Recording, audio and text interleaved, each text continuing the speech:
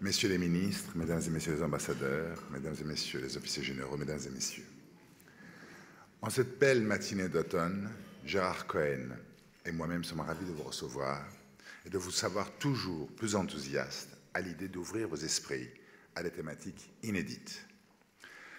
Pour nous tous, ces petits déjeuners constituent une parenthèse dans des agendas très sollicités et souvent très tendus. Un souffle dans une course quotidienne. Aujourd'hui, nous avons le plaisir de recevoir Jean-Claude Kaufmann, qui a accepté de nous livrer sa vision du monde. Sociologue de renom et directeur de recherche au CNRS en 2000, c'est pour nous tous un bonheur de vous recevoir, M. Kaufmann, ce matin. Vos expertises sont régulièrement plébiscitées par les plus grandes institutions françaises étrangères, telles que les ministères de la Culture de l'Union européenne, ainsi que le Conseil de l'Europe, ou encore de très grands groupes du CAC 40. Derrière ce brillant parcours se cachent des méthodes de travail qui vous distinguent. Vous menez vos enquêtes à travers ce que vous qualifiez d'entretien compréhensif, que vous voudrez bien nous expliquer, et avez toujours le souci d'apporter une réelle précision d'analyse. Le quotidien, et plus précisément la construction du couple et de la famille, sont vos thèmes de prédilection, tout comme la problématique de l'identité. Vous abordez aussi d'autres sujets, d'enquêtes surprenants et plein d'humour. Aujourd'hui, vous venez nous parler du lit. Ce lit que vous définissez dans le livre que vous nous présentez aujourd'hui comme le lieu de fusion conjugale, l'endroit où bat le cœur de la vie. Jean-Claude Kaufmann, je vous laisse à présent la parole afin que vous puissiez nous expliquer en quoi, selon vos propres mots, l'avenir du monde dépend de la façon dont nous choisissons de dormir.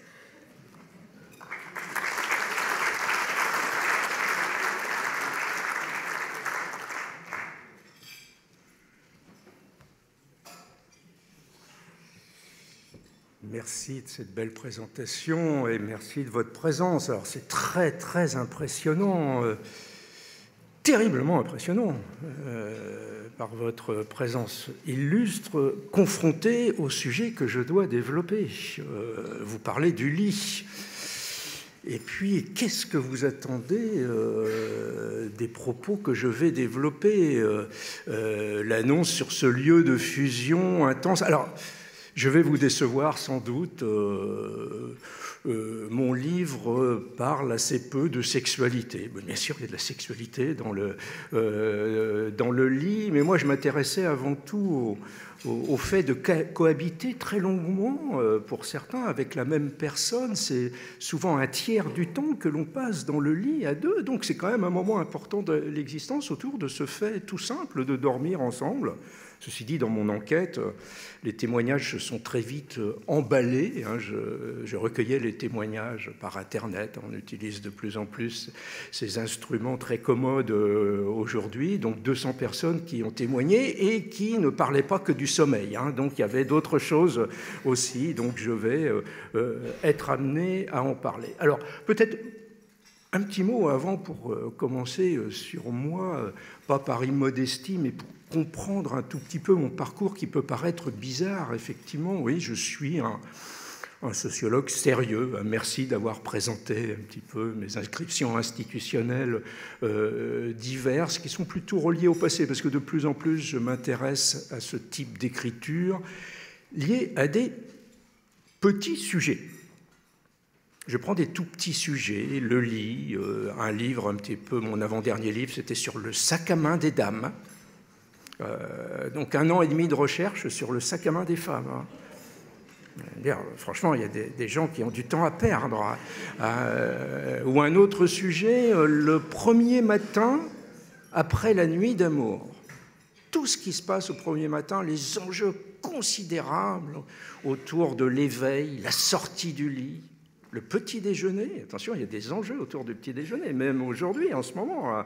euh, la toilette, euh, etc. Alors, ce qu'il faut bien comprendre, c'est que ça fait partie de ma démarche scientifique. C'est en fait très sérieux. Je pars du très concret, du très défini, très localisé, et à partir de là, j'ai des hypothèses d'interprétation qui me permettent de construire ma théorie. Je m'inscris dans une, école de construction de la théorie, un petit peu liée à l'école de Chicago aux États-Unis qui s'appelle la Grounded Theory, c'est-à-dire une théorie qui n'est pas construite de manière complètement livresque et abstraite, mais qui fait un aller-retour permanent avec l'enquête. Tous les jours, mon modèle théorique s'améliore dans la confrontation avec les faits, sauf que moi, ces faits sont tout petits. Qu'est-ce qu'on peut tirer de si petites choses? Avant de parler du lit, je vais prendre un exemple d'une autre recherche.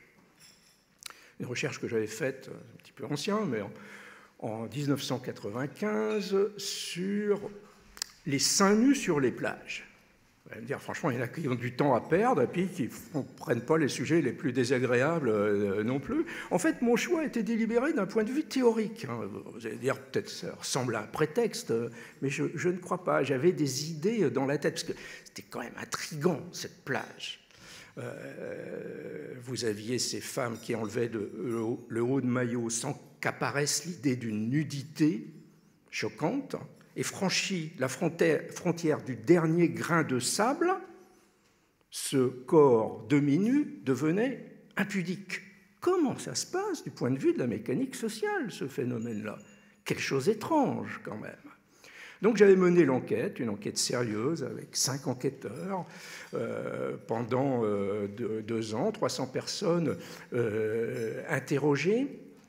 Et c'était très très intéressant parce que la plage, euh, c'est l'idée de la liberté absolue. Là au moins, on peut se laisser aller, faire ce que l'on a envie euh, de faire. C'est d'ailleurs ce que les gens me répondaient dans l'enquête. Je posais la question, est-ce que tout le monde, est-ce que toutes les femmes peuvent enlever leur haut de maillot. Donc la pratique a un petit peu changé, évolué depuis. Euh, ça serait un autre sujet. C'est très intéressant d'ailleurs de savoir pourquoi elle a évolué, mais là je, n'en traite pas ici. Je posais donc cette question dans les années 90, où la pratique était très répandue en France. Hein, ça a commencé en France, cette pratique. Hein. Ce n'est pas une particularité française parce qu'elle s'est diffusée dans un certain rayon géographique, mais pas, euh, pas partout. Sur le continent américain, par exemple, euh, vers le Brésil, on pouvait dénuder les fesses, mais pas le, pas le haut du corps, etc. Donc c'est des codes, tout ça. Pourquoi ça s'inscrit à un certain moment? Donc je posais cette question. Est-ce qu'une femme peut, euh, toutes les femmes peuvent enlever leur haut de maillot? Et on me répondait, alors on me répondait, déjà il faut voir la, la posture corporelle des gens qui répondent, euh, au début, les gens étaient très impliqués. Il y a une envie de s'engager dans les, démarches d'enquête aujourd'hui ou de sondage. On est souvent représenté, identifié au sondage, or, que, or la recherche est plus diversifiée et riche que la technique du sondage, mais c'est souvent l'identification qui est faite. Il y a des gens qui venaient nous voir parce qu'ils nous voyaient avec le magnétophone à l'époque. Ils disaient on est là-bas sous le parasol bleu, et euh, si vous voulez venir euh, nous interroger ensuite, euh, on voudra bien vous répondre. Et quand on arrivait, il disait c'est sur quoi l'enquête? Sur les seins nus sur la plage. Et là, il y avait un mouvement de recul vers le drap de, le drap de plage, parce que ça n'apparaissait pas sérieux. Donc déjà, ils étaient un peu détachés. Et quand la question était posée, est-ce que toutes les femmes peuvent enlever leur haut de maillot? La réponse était celle-ci, chacun fait ce qu'il veut. Et ils étaient euh, très contents euh, d'affirmer cela. Alors même, ils l'affirmaient avec une voix assez forte, très contents de proférer ce principe de liberté. On est dans une société où chacun fait ce qu'il veut. Et sur la plage, surtout, chacun fait ce qu'il veut. Et comme ils étaient engagés avec une très très grande sincérité, ils se redressaient un peu sur la serviette et puis ils continuaient leurs phrases, mais on entendait la virgule dans leurs propos. Mais chacun fait ce qu'il veut, hein. mais quand même, il faut bien dire, euh, une vieille grand-mère, euh, et là, parfois, suivait des descriptions de type apocalyptique euh, euh, sur l'aspect morphologique qu'on n'observait pas sur la plage, du genre qui a les, les seins qui traînent par terre, etc. si elles veulent le faire, d'ailleurs, très bien. Chacun fait ce qu'il veut. Mais faut dire, c'est affreux. Ça me fait mal rien que de voir ça. Qu'est-ce rhabille ah. À partir de là, commençait la définition de la beauté, mais d'une certaine beauté? La beauté de la plage qui avait le droit à un maximum de liberté. Et on s'engageait dans la définition du beau sein normal. Le mot était euh, employé, le beau sein normal étant celui qui n'accrochait pas le regard, sur lequel le regard glissait. En gros, le sein de l'adolescente, qui elle-même n'était pas très à l'aise avec son corps et enlevait pas le, le haut de maillot, je dis bien code de beauté sur la plage, permettant le maximum de liberté, parce qu'il y avait même la catégorie très paradoxale du trop beau sein, qui en d'autres contextes avait certains avantages, mais qui sur la plage, puisqu'il accrochait trop le regard, impliquait que la femme qui avait ce trop beau sein avait euh, un espace de liberté euh, moins grand. La personne se rapprochant le plus du modèle avait la possibilité de tout, de se mettre debout, euh, de, courir sur la plage, de faire du sport. Alors le sport c'était un peu plus particulier, il fallait maîtriser la technique sportive. Faire du volet en ratant le ballon, euh, ça n'allait pas. Hein. Donc il y avait des sous-catégories euh, comme ça. L'idéal étant d'être dans la normalité qui n'accrochait pas le regard. Et plus on s'éloignait de cette normalité, la personne qui enlevait le haut de maillot, du coup, accrochait le regard, par exemple la vieille grand-mère, etc. Et ce regard qui était accroché sur elle créait un malaise qui l'incitait à se rhabiller, même si tout ça ne passait pas par, euh, par la conscience. Le regard lui-même était codifié. Il n'y a pas un écriteau à l'entrée de la page en disant, par exemple, aux hommes, hommes, vous devez regarder de telle manière. Mais les hommes qui arrivent sur la plage, en quelques regards, comprennent comment il faut regarder et rentrent dans le système. C'est un regard euh, vide d'émotion, qui manifeste son absence d'intérêt pour le paysage de la plage, et zappant sur le paysage, glissant sur le paysage, glissant y compris sur les seins nus, sans les éviter, parce que ça manifesterait qu'il y a un intérêt un petit peu particulier, mais sans s'arrêter euh, une fraction de seconde. Ou alors s'il s'arrête une fraction de seconde, ça signifie qu'il y a une distance à cette norme, à ce normal que l'on construit. Bon, j'ai été très long, il est temps de commencer à parler euh, du lit, mais pourquoi je vous raconte tout ça? Eh bien, cette phrase, chacun fait ce qu'il veut, mais, depuis 1995, je l'ai retrouvée dans toutes mes enquêtes, dans toutes mes enquêtes qui portent souvent sur les formes de la vie privée. J'ai fait une autre enquête sur le célibat, les femmes célibataires, donc le nombre des célibataires augmente tous les ans dans l'ensemble des pays du monde. Hein. C'est un mouvement euh, social et historique absolument considérable euh, euh, aujourd'hui et qui chamboule tout l'édifice familial. Alors est-ce qu'on a le droit de le faire? Est-ce que c'est bien? Est-ce que c'est mal? Chacun fait ce qu'il veut aujourd'hui. C'est la référence. Chacun fait ce qu'il veut du moment qu'il est heureux. Mais elle a 40 ans, elle n'a jamais été mariée, elle n'a pas d'enfant. Chacun fait ce qu'il veut, c'est sa vie. Mais pourquoi elle fait ça? C'est-à-dire que lorsqu'on n'est pas au cœur de la norme, on doit se justifier, s'expliquer. La vie est moins facile. Eh bien, cette phrase Chacun fait ce qu'il veut, mais témoigne du fonctionnement de nos sociétés euh, démocratiques aujourd'hui qui instaurent des espaces de liberté de plus en plus, en plus grands où on a l'impression que chacun peut faire ce qu'il veut. Mais une société ne peut pas fonctionner sans repère collectif. C'est absolument euh, impossible. Donc ces normes qui deviennent non obligatoires euh, s'inscrivent d'une nouvelle manière. On voit se développer ce qu'on pourrait appeler le double langage des sociétés démocratiques. L'affirmation d'une liberté de surface qui est réelle, chacun fait ce qu'il veut, il y a de vrais espaces de liberté, mais en même temps, des normes discrètes qui s'inscrivent par des systèmes. Par exemple, sur la plage, c'est uniquement par le jeu des regards.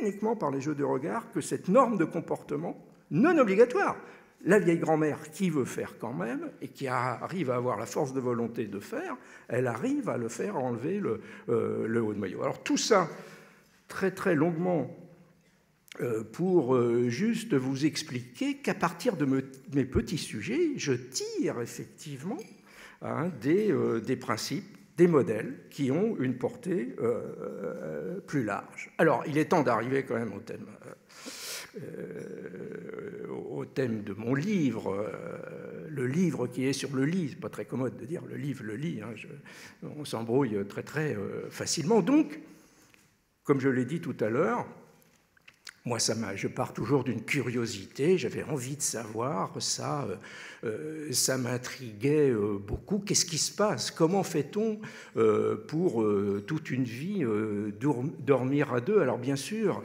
il y a le désir, il y a l'envie de cette présence de l'autre, présence très très forte, souvent au début euh, du couple, avec euh, ce qu'on peut appeler la, la magie de l'amour qui fait que toutes les perceptions et les sensations sont chamboulées. Vous pouvez, c'est pas impossible, passer toute une nuit ensemble enlacés sans vous rendre compte que l'épaule est tout ankylosée, quoi. Hein. Euh, parce qu'on est euh, entraîné dans un élan euh, qui est différent. Après, je dire quelques années, parfois quelques semaines, quelques mois de vie commune, la sensation de l'épaule qui fait mal commence à apparaître. Et on se dit, c'est drôlement sympathique, le partenaire, on a envie d'être comme ça, près, près de l'autre, mais le confort personnel le bien-être personnel, surtout au moment de l'endormissement. Le moment de l'endormissement est un moment incroyablement euh, euh, intime, personnel, où il faut ressentir un relâchement absolu pour arriver à s'abandonner. S'abandonner, euh, le terme est très fort, s'abandonner au sommeil, ce n'est pas rien. Et là, il faut trouver très souvent ces petits repères secrets Parfois, après 10 ans, 20 ans, 30 ans de vie commune, on ignore que le partenaire a besoin de glisser la main sous l'oreiller ou mettre son orteil sur le bord de la couverture pour avoir ces petits rituels très personnels. Ça, c'est les rituels individuels. Et puis, il y a les rituels collectifs. Alors mon livre est un voyage exotique dans toutes les chorégraphies étonnantes que l'on peut trouver. Hein. Certains qui se tournent le dos mais doivent se toucher les talons, euh, etc. Les rituels et puis les séquences.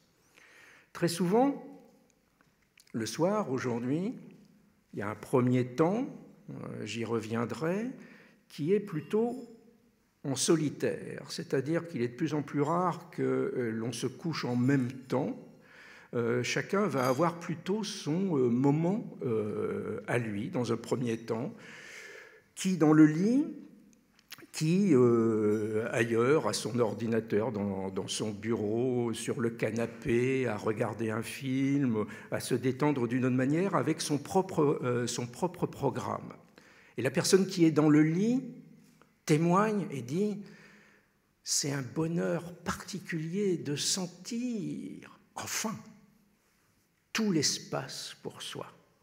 Et là, il y a une symbolique qui dépasse le lit, hein, ça parle du couple. Et on me dit très souvent, c'est la même image qui est prise, je fais l'étoile de mer. Je fais l'étoile de mer et je sens que je, je ne suis pas contraint ou contrainte dans mon couple. J'ai cette possibilité d'espace. Mais il ne faut pas que l'étoile de mer dure trop longtemps. Parce qu'arrive le deuxième temps où la solitude euh, commence un petit peu à peser et on a besoin de la présence de l'autre. Or, de plus en plus, les, euh, les horaires sont euh, décalés, les horaires de, l'endormissement, du coucher, du lever, parce que chacun a ses rythmes et, et les exprime pleinement aujourd'hui mais aussi parce que chacun essaie d'élargir les moments où il va y avoir la respiration euh, euh, personnelle. Donc après le deuxième temps, ça va être le rituel plus conjugal. On va se retrouver ensemble, deux, trois petits mots. Alors, confidence sur l'oreiller, j'ai pas trop envie d'employer ce mot-là, parce que c'est plutôt une conversation un petit peu euh, ordinaire. Euh, intime, mais un petit peu ordinaire. Et là, il y a une assez grosse différence homme-femme. Les femmes ont souvent la sensation d'un déficit de communication intime. Elles aimeraient bien parler plus d'un certain nombre de sujets tenant à elles-mêmes, aux relations interpersonnelles, voire à la famille. Euh, et les hommes ont souvent peur que ça clenche une conversation qui va finir dans une prise de tête assez fatigante. Alors qu'il y a un nouveau rôle de l'homme dans la famille qui est d'être l'idéologue de la décontraction le porteur d'une philosophie du bien-être immédiat. C'est très important, hein, euh, euh, ce rôle-là, mais c'est relativement facile à, tenir et ça peut agacer très très fort euh, les, femmes. Et là, les hommes ont très peur de l'enclenchement de cette conversation prise de tête, surtout au moment de s'endormir, où il va falloir se relâcher, s'abandonner. Donc là, ils ont des, des tactiques de réponse brève par onomatopée, hum, hum, hein, ou bien faisant celui qui s'endort. Hein, c'est très étrange. Parfois, c'est la femme, pour d'autres raisons, qui fait celle qui s'endort, et là, c'est le mari hein, qui fait celui euh, euh, qui s'endort. Par contre, les petits gestes, le petit, euh, la petite caresse, le petit bisou, ou le petit bonsoir, ça fonctionne très bien. Ça signale, on est couple, on est content d'être proche l'un de l'autre. Et puis, troisième séquence, juste après, Là, il faut trouver le sommeil avec son bien-être euh, personnel et ça va nécessiter de trouver un petit peu son espace. Alors l'espace, on a toujours l'impression que le partenaire euh, euh, dépasse la moitié du lit. Alors parfois, il y, a, deux matelas, donc c'est très commode, on peut savoir, mais quand on ne sait pas, on a vraiment cette, impression-là. Et puis il y en a qui dépassent vraiment la moitié du lit, hein. il y en a qui empiètent vraiment. On va chercher son espace et très souvent, par exemple, on va choisir la position dos à dos, qui est la plus fréquente. Et on, se dit, mais est-ce que ça témoigne pas d'un petit problème dans le couple qu'on choisisse la position dos à dos? Alors euh, non, je vous rassure. Euh, dans certains cas, oui, ça dépend des modalités du dos à dos. Si c'est un dos à dos un peu agressif et avec un écart très net entre les deux personnes accrochées chacune au bord du matelas, alors oui, là, il y a un problème. Euh, j'ai vu ces cas-là, c'est complètement dramatique, hein, des personnes qui souhaitent divorcer, mais euh, euh, on ne peut pas toujours facilement divorcer, notamment des fois pour des raisons financières. Euh, qui sont condamnés à, continuer à dormir ensemble dans un lit. Alors là, c'est l'horreur des horreurs absolues, ils sont accrochés au bord du matelas. Mais la plupart du temps, euh, non, ce n'est pas le cas, et certaines personnes expliquent pourquoi. Parce que si on est face à l'autre, d'abord, il y a sa respiration, alors il ne me parle pas d'haleine quand même, mais c'est euh, le, souffle et puis derrière cette question du souffle, il y a l'expression du visage. C'est la personne qui est très vivante qui est là, alors qu'on a besoin de se déconnecter euh, complètement euh, pour euh, s'endormir. Mais bon, voilà, admettons que ça se soit bien passé, on commence à s'endormir et parfois la nuit va être un petit peu agitée. Alors pour deux groupes de, pour deux groupes de raisons. Le, le premier groupe de raisons, c'est ce qu'on pourrait appeler le choc des cultures, le choc des manières de faire. Alors ça, c'est très intrigant. Parce que le couple est une petite machinerie à fabriquer de la culture commune. Tous les jours, tous les jours, sans cesse, on commente l'actualité. On commente un peu la, la discussion politique, c'est très très intéressant, extrêmement intéressant la conversation politique dans le couple, parce qu'on parle de tout, donc on aimerait bien parler euh, politique aussi, et on s'essaye. Hein. Et s'il y a des petites divergences dans le couple, il ne va pas y avoir de problème, ça va créer une petite animation, ça va être sympathique. Mais s'il s'avère que la divergence est plus profonde, on va arrêter de discuter politique. Parce qu'il y a plus important que la discussion, que le débat démocratique à l'intérieur du couple, c'est le couple lui-même. C'est la construction de ce petit monde commun. Donc ce n'est pas forcément le lieu de l'expression démocratique la plus forte à l'intérieur du couple lorsqu'il y a comme ça le constat d'un désaccord qui, euh, qui pourrait être là. Donc on construit cette culture commune en commentant l'actualité, en développant un projet de vacances. Par exemple, j'avais remarqué dans mes enquêtes, notamment une enquête sur les repas, les thèmes de conversation pendant les repas, qu'un des thèmes les plus fréquents, dans, les, familles, c'est de critiquer les amis et la famille. Gentiment, hein, parce qu'on les, les aime, on les adore. Et on les aime, on les adore vraiment. Mais franchement, leur manière de passer les vacances, d'élever les enfants, faut le dire, c'est n'importe quoi, hein. Donc ça, c'est nécessaire comme thème de conversation, extrêmement utile. D'une part, parce que ça restaure l'estime de soi. Si eux font mal, c'est que nous, on a des bons choix. Et euh, deuxièmement, ça permet de construire cette culture commune. On se met d'accord sur tout. Et du coup, on a l'impression qu'on est vraiment unis, presque interchangeables, qu'on a les mêmes idées. Or, dans les profondeurs de l'individu, il y a des profondeurs, notamment des profondeurs non conscientes qui n'ont rien à voir avec Freud, hein, c'est ce que les cognitivistes appellent l'inconscient cognitif. On enregistre dans le cerveau non conscient des milliers et des millions d'automatismes ordinaires, de gestes qui se passent tout seuls. Et euh, notamment, euh, on se lève le matin, on cherche son bol, c'est café ou thé, on ne se pose pas la question est-ce que thé ou café? Ça marche tout seul, tout ça est enregistré, est emmagasiné, et donc on a une gestuelle qui est installée et qui bouge très peu extrêmement peu, même si le cerveau conscient dit euh, il faut que j'arrête de faire tel geste. Par exemple, le, la partenaire qui dit tu vas me faire le plaisir de ranger tes chaussons, qui sont toujours en train de, traîner. On peut se dire il faut que je range les chaussons, mais euh, ça va pas venir tout seul parce que c'est euh, c'est vraiment inscrit. J'avais fait un livre sur les petits agacements dans le couple et ça repose sur ça. C'est toujours la surprise de retrouver le geste étrange la, manière de toucher un objet euh, qui, euh, le, toutes sortes de choses. Hein. le tube de dentifrice, il y en a souvent un qui est un peu plus rangé, je dirais pas maniaque, mais qui a une esthétique du bon geste correct, voire qui le, qui le replie et tout ça. Et puis l'autre qui est plus, euh, l'autre qui est dans une autre philosophie de, de la vie. Celui qui a les chaussons qui traînent, pour lui, les chaussons ne traînent pas. Il est plus euh, euh, libertaire, hédoniste, euh, etc. À quoi ça sert de passer son temps à, ranger les choses? Donc, dans l'histoire du couple, il y a tout le temps l'émergence de ces moments d'agacement qui sont un peu comme des, des petits coups de foudre à l'envers.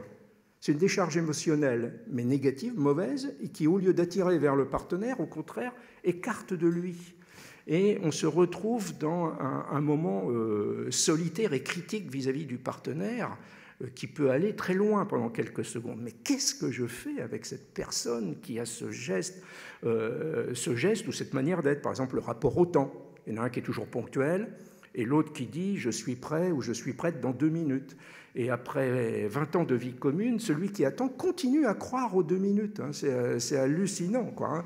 et, euh, et, il, se reprend un peu, et puis d'un seul coup, il dit Mais tu as vu l'heure qu'il est? Mais oui, j'arrive. Et en fait, j'arrive, c'est la même phrase.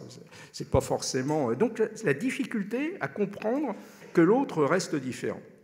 Et ce choc des manières, souvent incompréhensible, mon, livre, pour les personnes qui ont témoigné, a eu un effet thérapeutique parce qu'ils ont compris que c'était normal, que l'autre restait différent, et qu'on n'avait pas forcément soi-même la vérité. C'est deux manières d'être, de philosophie euh, qui s'affrontent. Et ce choc des manières est plus explosif dans les lieux de renforcement des intimités, autour de la table, par exemple, dans la voiture. Alors, il aurait fallu que je prenne toute la matinée pour vous parler de la voiture.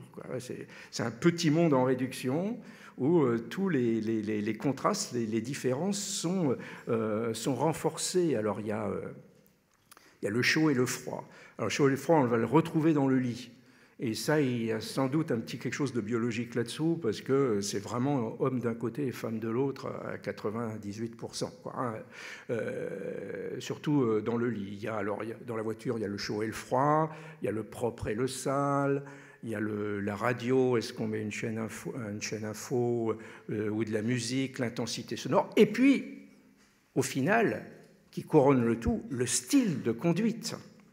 Celui ou celle qui est assis à l'avant droite se dit qu'il ou elle doit ne rien dire. Et puis, d'un seul coup, ça sort. Mais tu as vu encore, tu es à deux mètres de la voiture qui est euh, devant. Alors, cet exemple-là, il peut s'appuyer sur, le, sur le, le, règlement officiel hein, qui interdit de conduire trop près. Mais la plupart du temps, euh, on n'a pas ces règles qui permettent de faire. Mais même dans ce cas-là, où l'un peut s'appuyer sur la loi pour euh, imposer un peu son autorité, ça ne marche pas. Il y a souvent un petit dialogue euh, ping-pong très très rapide, toc toc, puis on arrête, on voit qu'on ne peut pas se mettre d'accord. Alors le lit. Alors, je, vous raconte tout, hein. on est entre nous. Je vais, vous, dire quelque chose sur mon couple. Ma femme, qui n'est pas là, heureusement, elle n'entend pas, m'a fait cadeau d'une montre. Donc, elle m'a fait cadeau d'une montre. Le cadeau de sa femme, euh, non seulement on ne peut pas le refuser, mais on ne peut rien développer, aucune critique. Elle, est très très sympathique, hein, elle est noire, mais on ne voit pas l'heure dessus. Et, donc je suis extrêmement extrêmement embêté, surtout ça, brille un peu, et puis il a l'aiguille des secondes qui se mélange. Il, me reste combien de temps 20 minutes? Mais c'est royal. Euh, donc, euh, non, c'est royal, non, mais je vais, quand même, euh, ça, ça, va, aller. Donc, dans le lit, on va retrouver tous les agacements, le chaud, le froid.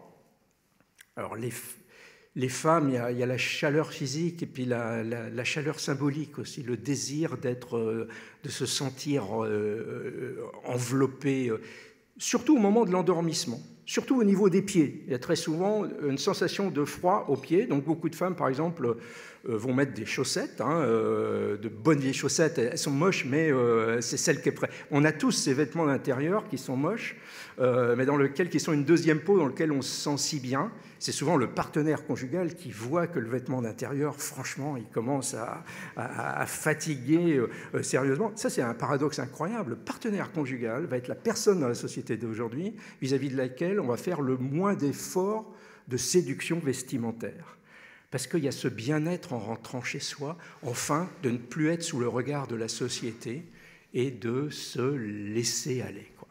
J'avais même dans mon livre sur les... Faut, que j'arrête de faire des parenthèses.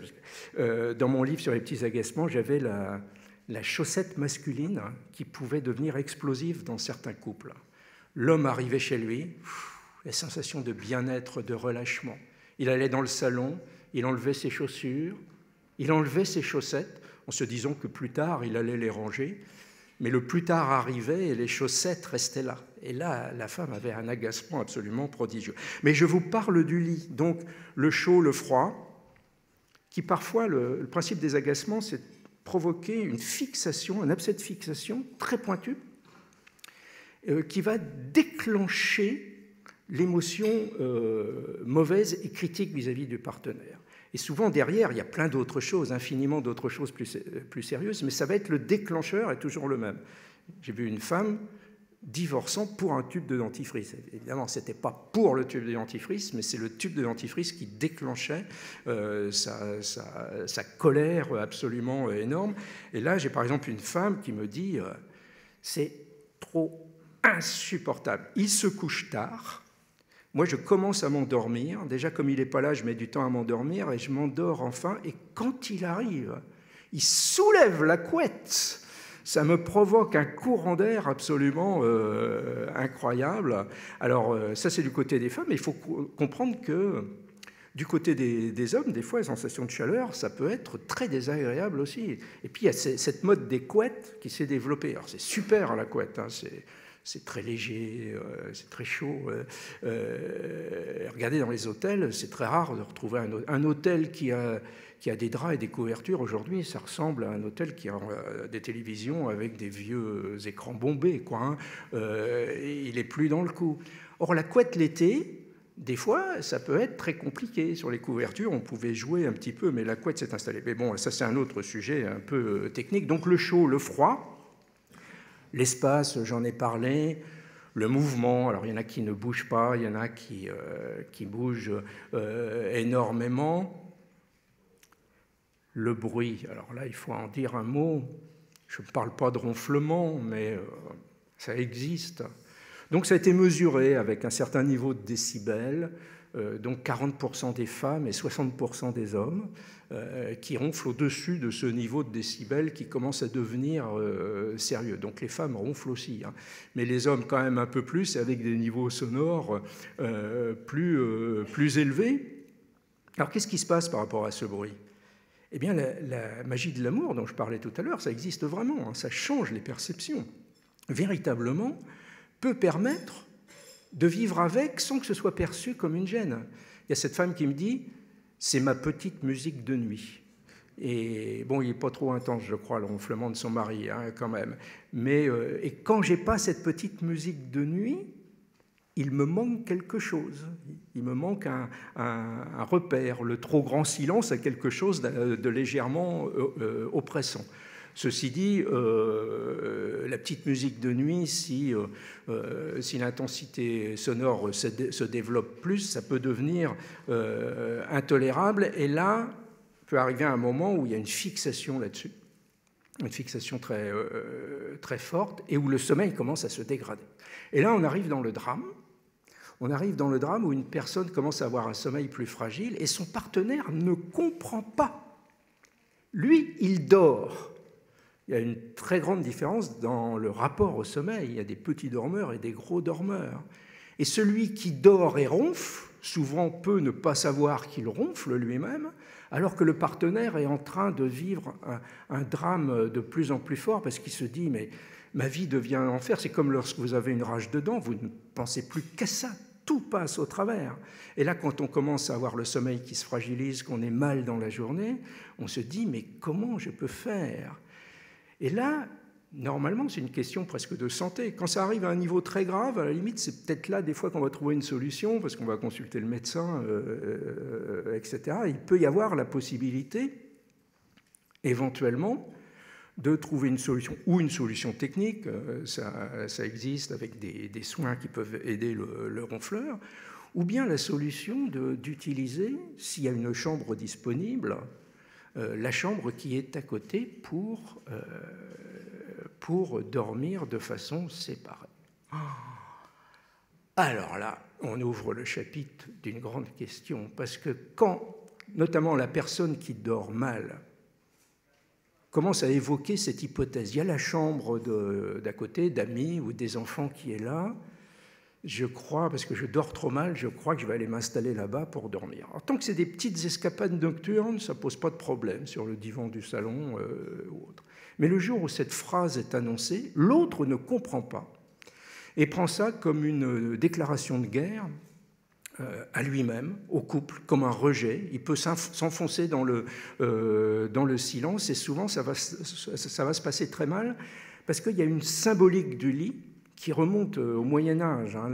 L'Église a instauré le lit matrimonial comme symbole du véritablement comme symbole du couple. Donc on a oublié tout ça, mais ça reste très fort dans les mentalités. D'ailleurs, ce couple qui peut être euh, qui peut-être, euh, après une discussion, a commencé à faire chambre à part, et ça peut se passer un petit peu mieux du point de vue de la communication, va se garder d'en parler aux amis. Parce que les amis, admettons que ça fuite dans un repas le soir avec des amis, tout de suite, euh, regard croisé autour de la table, on a compris, leur couple est mort. Alors dans quelques cas, c'est la réalité, c'est le couple, il y a un éloignement progressif, ça existe. Et c'est pas obligatoirement l'enfer absolu, mais on passe du statut de couple au statut de colocataire, euh, d'une certaine manière. Si c'est très amical, ça peut se passer euh, pas trop mal. Mais la plupart du temps, c'est pas ça du tout. Il n'y a pas de problème du couple. Il y a un problème de sommeil partagé. Aujourd'hui, et c'est là le deuxième aspect, je vous ai parlé du choc de manière, l'autre aspect que je vais développer sur les quelques minutes qui me restent, qui est un aspect extrêmement important, c'est que notre société d'aujourd'hui est de plus en plus fondée sur l'individu, sur l'autonomie euh, individuelle. Nous sommes de plus en plus nous-mêmes avec le désir de ne pas disparaître en tant que personne, de garder la maîtrise sur notre existence et garder aussi la sensation de l'expression du bien-être personnel maximum vivre bien, sentir le bien-être personnel dans la relation à l'autre, avec des moments de partage, d'échange avec l'autre, mais sans disparaître en tant que personne. De plus en plus, le couple se vit sur un rythme à deux temps. Le temps pour soi, le temps à deux ou le temps en famille. Dans tous les espaces, par exemple de la maison, dans la salle de bain, il y a un moment, toute la famille qui passe, plus ou moins déshabillée, en criant, en chantant avec des musiques ça ne gêne pas, c'est la concrétisation que la famille existe, qu'on est au cœur de l'intimité véritablement. Mais la minute suivante, il y a peut-être l'envie d'être seul avec soi-même dans, euh, dans, la salle de bain. Toutes les pratiques familiales, aujourd'hui, ce n'est pas un éclatement, ce n'est pas une crise, c'est un nouveau modèle. Rentre dans ce système du rythme à deux temps. Prenez les repas, petit déjeuner. Là, on est tous ensemble, c'est extraordinaire dans la famille, 60% des petits déjeuners sont pris en solo. Je ne parle pas des célibataires, hein. dans les familles. 60. En solo, ça veut dire qu'on n'est pas à la même table. C'est-à-dire qu'il peut y avoir des personnes qui passent dans la pièce, qui sont à 2-3 mètres, mais euh, alors vous allez dire, mais c'est la semaine parce qu'on n'a pas les mêmes horaires, on se rattrape le week-end. Oui, on se rattrape le week-end, on monte à 50%. Donc on a les temps pour soi, et souvent le repas du soir, au contraire, on va être ensemble. On va être ensemble. J'ai fait une, recherche avec une photographe qui avait mis son appareil photo au plafond, on voyait le déroulement des repas, et les repas, aujourd'hui, il y a trois séquences. Première séquence, la mise en place vous savez, il y a ce fameux cri à table. Faut écouter les modulations. Hein. Il y a le premier temps amoureux, à table. Il y a ce rêve de la famille Ricoré qui va venir s'installer. Et la famille Ricoré, c'est fini. Elle n'arrive pas. Ah, parce que le cri signale, chacun arrête ses activités perso pour venir dans le moment famille. Et là, ça traîne. Et puis, il y a les réguliers du retard, notamment chez les ados, euh, etc. Deuxième temps, le plat principal. Tout le groupe est formé. On voit les corps se rapprocher, les mains se croiser autour du plat, etc. Troisième temps, le dessert. Et à nouveau, ça part dans tous les sens. Chacun va aller vers le frigo, prendre son petit pot individualisé et venir le remanger éventuellement autour de la table ou partir. En suivant la piste des petits pots, on voit comment une famille euh, fonctionne. Donc il y a de plus en plus les temps perso, temps perso pour les repas, temps perso euh, pour tout, les écrans par exemple. Dans les années 50, la famille, le couple regardait la télé sur le divan du salon, regardait la même chaîne, ce n'était pas trop difficile, il y en avait trois, euh, le choix n'était pas trop euh, compliqué, et c'était un moment très euh, conjugal. Aujourd'hui, de plus en plus, enquête récente de l'INSEE, chacun a son écran, avec son lieu, avec son programme, ou peut choisir de regarder un film ensemble, mais ça va être un choix d'un moment conjugal. Alors, comme je vois qu'il me reste, c'était 10, donc c'est plus que 8, c'est que 5, bon. Euh, je vais faire très vite, pour un élargissement un petit peu du propos, mais qui me semble important. Donc ça, ça se passe dans la famille, mais c'est parce que ça se passe dans toute la société. Nous vivons une révolution, une rupture historique. Alors nous vivons, c'est pas depuis l'année dernière, c'est depuis un petit demi-siècle. C'est ce qu'un certain nombre de chercheurs, euh, Ulrich Beck en Allemagne, Anthony Giddens en Angleterre, appellent la seconde modernité, euh, par exemple. Nous sommes passés d'un type de société institutionnel, cadré, qui avait un cadre de morale, un cadre de, vérité, morale souvent avec un arrière-plan religieux, qui structurait et qui construisait les individus. Le chemin de la vie était construit d'une certaine manière, il suffisait de le, de le suivre.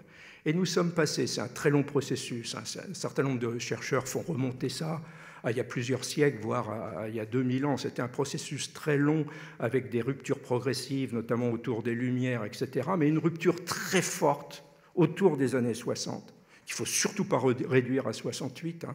C'est notamment dans le début des années 60 qu'il y a beaucoup de choses qui, euh, changent.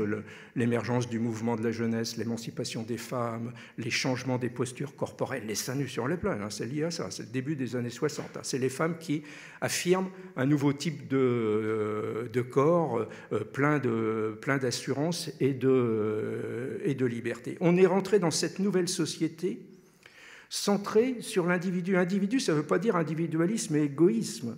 Ça veut dire que l'individu devient sujet et qu'on assiste à une sorte d'approfondissement de la démocratie. Comme si la démocratie avait eu une première époque historique, politique, que l'on connaît bien, multipartisme, euh, euh, etc., à un approfondissement dans la vie privée et personnelle, chacun aujourd'hui définissant ses propres choix dans tous les domaines ces choix de morale. Qu'est-ce qui est bien, qu'est-ce qui est mal aujourd'hui? Chacun fait ce qu'il veut. Chacun fait ce qu'il veut, mais c'est-à-dire que c'est une liberté théorique et derrière c'est pas aussi simple que ça. Mais quand même, chacun est affronté. Dans mon enquête, une autre enquête que j'ai faite sur la drague sur Internet aujourd'hui, il y avait ce forum de discussion hallucinant autour du thème Peut-on coucher le premier soir? En fait, ça s'adressait aux femmes, parce que pour les hommes, il n'y avait pas de problème. Mais euh, est-ce qu'une femme peut coucher le premier soir? Euh, C'était euh, et c'est très intéressant. C'était une discussion sur la morale d'aujourd'hui. Qu'est-ce qui est bien Qu'est-ce qui est mal? Qu'est-ce qu'on peut faire? Alors, il y avait des tas, et finalement, c'était très intéressant ce forum parce que ça avait fini par déboucher sur un consensus. Le consensus étant ça dépend. Ça dépend si on est amoureux ou pas. Si on est amoureux, non, il vaut mieux euh, éviter de coucher le premier soir, du coup c'est quelque chose qui est un peu différent. Mais si on n'est pas amoureux, et là il y avait une phrase qui là encore circulait, et quand une, phrase circule comme ça, je la repère parce qu'elle témoigne de quelque chose de fort. C'était la même phrase, les mêmes mots. Il n'y a pas de mal à se faire du bien. Les deux personnes sont consentantes. C'est plus. Il y a quelques cas qui sont interdits par la loi, euh, mineurs, etc., mais très limités. Tout le reste n'est plus interdit. Du point de vue de la morale, rien ne dit que c'est mal. Donc si les personnes sont... Et on voit la pratique des rencontres aujourd'hui évoluer de manière très rapide vers une inversion du rapport entre sentiment et sexualité. Autrefois, on commençait par le sentiment. Si on était sûr de ces sentiments, on avait le droit, parfois après le passage devant l'institution, le mariage à la sexualité. Aujourd'hui, on commence par euh, cette euh, sexualité un petit peu sans enjeu, comme si ça pouvait être une sorte de loisir comme les autres, pour voir si le sentiment peut en éclore. Chacun choisit sa vérité. Alors là, c'est quelque chose d'incroyablement nouveau et très fort. Il y a 30 ans, dans tous les domaines, comment élever l'enfant?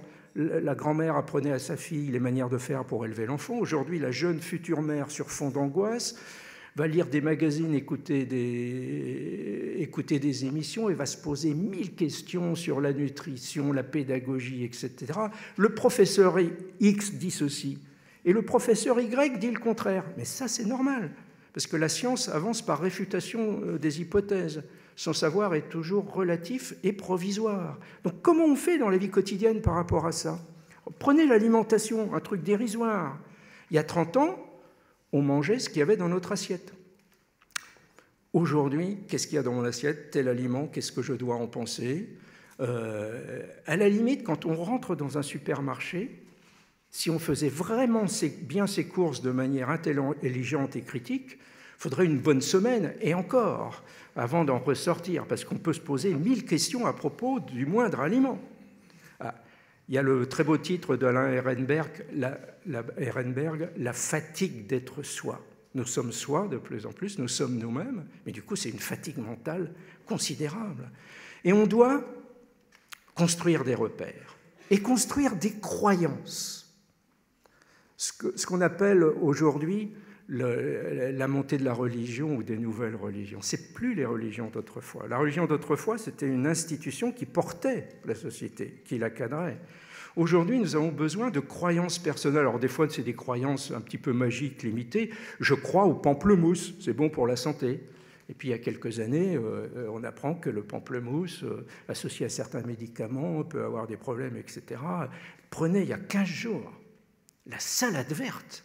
Jusque-là, la salade verte, je pouvais croire à la salade verte et me dire ça au moins, salade verte, c'est bon pour la santé. Il y a 15 jours qu'on apprend que c'est un, concentré de pesticides et de produits chimiques largement au-dessus de la moyenne et que ça peut euh, aller jusqu'au point de déconseiller la salade verte pour la santé. Qu'est-ce que je fais par rapport à ça et là, c'est très intéressant ce qui s'est passé depuis 15 jours, parce que l'information scientifique a été collectivement refoulée on ne peut pas ne pas continuer à croire à la salade verte, parce que qu'est-ce qu'on va devenir Surtout quand on fait un petit régime léger, etc. Donc on commence à croire.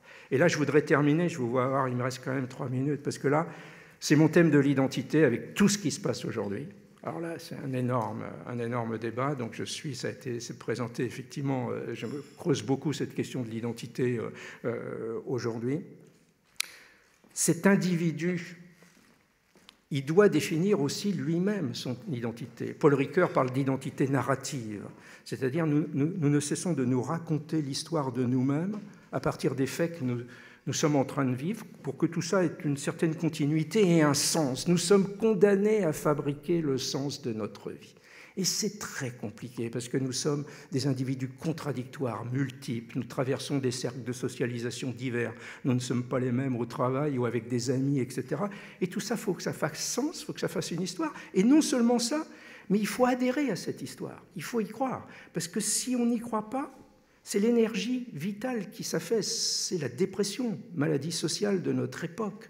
Donc il y a ce nouveau travail de production identitaire du sens de sa vie qui est notamment difficile pour toutes les personnes un peu fragiles socialement ou culturellement, qui ont été chahutées entre des cultures diverses, des trajectoires multiples. Qu'est-ce qui fait la vie, du coup? Et comment construire, parce que tout cet enjeu identitaire, c'est en même temps construire l'estime de soi sous le regard des autres, d'où cette demande de respect, de reconnaissance immense. Et une manière de s'en sortir, souvent pour les plus fragiles, c'est de se réfugier dans un dogme sectaire qui donne toutes les réponses de la vie. Voilà les réponses, voilà ce qui est juste, voilà ce qui est vrai. Et actuellement, on voit se développer toute une série d'enfermements communautaristes. Et là, je ne parle pas simplement du djihadisme, hein, mais c'est dans, bien d'autres secteurs, y compris dans une idée nationale qui se renferme sur le passé, sur les racines. L'identité, c'est pas le passé. Bien sûr, on a une mémoire, on a des mémoires, on a une histoire, c'est très lourd, c'est très fort. Mais l'identité, c'est un travail de production du sens dans le présent et orienté sur l'avenir. L'identité nationale, c'est comme l'identité individuelle. C'est un récit collectif. Être français en 2015, ça n'a rien à voir avec être français en 1915, c'était l'époque de, la guerre contre l'Allemagne et tout ça, la définition de, la francité était quelque chose d'incroyablement différent. Donc ça, ça avance cette identité et ça un récit. Si on, se retourne uniquement vers le passé, on va essayer de trouver des, des Français qui seraient plus français que les autres, on est parti dans une logique absolument terrible et on ne trouvera jamais la moindre, euh, la moindre réponse. Donc nous sommes là actuellement face à un danger très grand de crispation identitaire, d'enfermement sur des croyances, des dogmes qui parfois se définissent euh, par opposition à une adversité par opposition à des, euh, à des ennemis. Et euh, bon, je suis un petit peu déçu de, terminer là-dessus parce que je suis quelqu'un de très optimiste de nature. Euh, j'aime bien l'humour, mais quand je fais le, constat aujourd'hui, il faut faire extrêmement attention de tout ce qui est autour de tout ce qui se passe sur les crispations identitaires, parce que, notamment parce que la production d'identité, telle que je l'ai euh, expliquée, est de plus en plus fluide et volatile. C'est beaucoup plus fluide et volatile qu'on ne le croit. L'identité, c'est surtout pas quelque chose qu'on a en bloc en soi. On est souvent, si j'ai deux minutes, je termine quand même un petit peu là-dessus. On est souvent troublé parce que, au, début de mon enquête sur l'identité, j'ai dit mais au fait l'identité, qu'est-ce que c'est? Depuis quand parle-t-on? J'ai mené l'enquête là-dessus j'ai vu qu'on a commencé à en parler, il y a deux ou trois siècles, autour du point de vue de l'administration, autour des papiers d'identité. Les papiers d'identité eux-mêmes ont une histoire très intéressante. Dans les villages traditionnels, il n'y a pas de papiers d'identité, parce que chacun connaît chacun. Les papiers d'identité sont arrivés quand l'État s'est structuré de manière séparée de la société civile. L'État avait besoin de connaître ses administrés, donc euh, se sont développés les papiers d'identité. D'abord les registres de baptême, puis sous Napoléon ça a été intégré à l'état civil, mais ce n'est pas encore les papiers qu'on porte sur soi. Ça c'est encore beaucoup plus récent. Papiers qu'on porte sur soi, ça commence avec les livrets ouvriers, parce qu'ils sont nomades, ils circulent, ou les tziganes à la fin du 19e siècle. Et la carte d'identité française, ça arrive en 1940, sous le régime de Vichy. Euh, c'est très récent. Et du point de vue de l'État, c'est pas compliqué l'identité c'est quelques définitions sur le papier, c'est à la limite quelques marqueurs biologiques, voire un numéro d'identification. Et pour l'État, l'identité, c'est ça. S'il y a un contrôle, par exemple, de police euh, qui demande montrez-moi vos papiers, l'individu qui montre ses papiers, il n'est que le double de la preuve. La vraie preuve de lui-même, c'est le papier. Hein, qui, euh, qui, définit véritablement qui il est. Alors est-ce que c'est ça l'identité vraiment qui cause tous les problèmes d'aujourd'hui? Non. Et, pourquoi parle-t-on énormément d'identité? Depuis quand? C'est depuis les années 60 qu'on a commencé à parler énormément crise d'identité de l'adolescent, euh, etc. Parce que nous sommes rentrés dans ce régime de production de notre propre identité avec une volatilité. On a les... Quand on est dans notre club de boulistes, on se vit comme le bouliste. Donc on a des variations des sensations identitaires. Et je terminerai là-dessus. Même du point de vue de l'identité nationale, par exemple de l'identité de français. Quand, est-ce que l'on a cette sensation d'être français? Si on fait une enquête très concrète, du côté des hommes, c'est plus intéressant du côté des hommes, Ça, ça peut énerver les femmes hein, qui ne comprennent pas cette histoire-là de la passion pour le foot de leurs hommes. Des fois, leur homme, il n'est pas très, euh, euh, pas très présent et expressif dans la relation conjugale. Puis d'un seul coup, il y a un match de l'équipe de France, et là, elle va le voir qui vit des émotions intenses. Elle ne comprend pas. Mais en, fait, c'est euh, quelque chose d'important. Aujourd'hui, on a besoin de petites passions qui remplissent l'existence. Et parmi ces passions, il y a les passions sportives, et notamment en tant que spectateur, quand il y a l'équipe de France. Il y a Walter que j'avais interrogé, terminerai sur cet exemple, qui me dit, mais euh, euh, c'est incroyable. Lui, il ne va pas dans les stades, il suit pas le championnat, mais quand il y a l'équipe de France, euh, alors d'abord, il y a les hymnes, il y a le drapeau. Il n'y a pas tellement d'occasions aussi fréquentes, il y a les hymnes et il y a le drapeau. Et d'un seul coup, il n'est plus Walter, il se sent français. Son identité s'est élargie à cette sensation nationale, surtout s'il y a des Italiens en face. Hein, d'un seul coup, il y a cette... Euh, et, il me dit, c'est très intéressant, il dit, euh, s'ils ont gagné, c'est super, hein, parce que même après le match, tu continues à vivre ça, et c'est moi qui ai gagné. Hein. Regardez le public dans les stades, c'est une, estime de soi, une fierté euh, incroyable.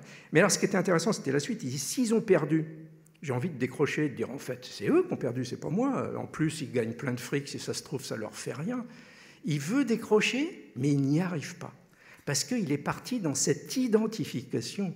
L'identité aujourd'hui, c'est des moments d'identification. On peut, à partir d'une vidéo extraordinaire, etc., euh, se, sentir engagé et, sa vie entraînée vers le djihad euh, mortel euh, en Syrie ou, en Irak. Il faut comprendre cette volatilité extrême qui s'accroche bien sûr à des fragilités individuelles.